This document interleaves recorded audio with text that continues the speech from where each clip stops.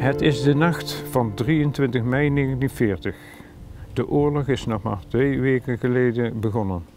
Mijn opa, Alex Heldens, hoort een vliegtuig boven Mierlehout cirkelen en loopt naar het raam om te kijken.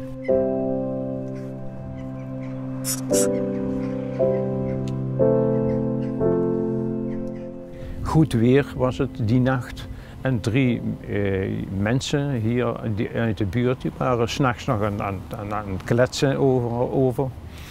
Ze, ze stonden bij de kruising en uh, op een gegeven moment, uh, die waren naar de, de vliegtuigen aan het kijken die hier overvlogen.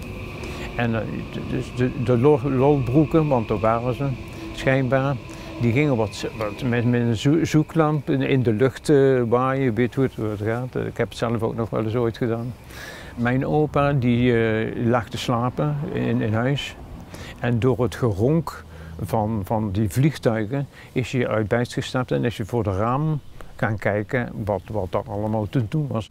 En op een gegeven moment waren de vliegtuigen weg, maar toen kwam er nog een eentje terug. En die begon hier rond te cirkelen. En ze gooiden toen eh, een, een, een, een, parachute met, met licht, zodat ze zien, kunnen zien waar ze bezig waren.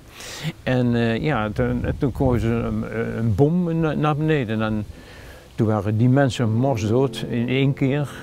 En mijn opa, die was ook dood door, door de, de, het huis. En de, de gevel, die was, die was er gewoon uit. In huis waren nog uh, mijn, mijn, mijn vader.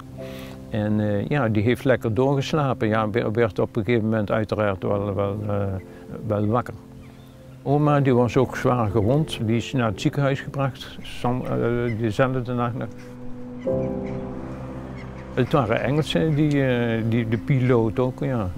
Ja, dat vind ik wel erg dat dat, door, de eigen mensen gebeurd is, ja alles werd geregistreerd in de oorlog, waar de bommen vielen en zo. Maar het is raar dat deze bom, die staat nergens beschreven. Dan zou je dus bijna denken, daar zit toch nog meer, achter. Maar er is niemand, uh, dat is nergens beschreven. Ik heb daar nooit verder verhalen van hem gehoord, moet ik zeggen. Toen, toen ik ouder werd, ook nog niet.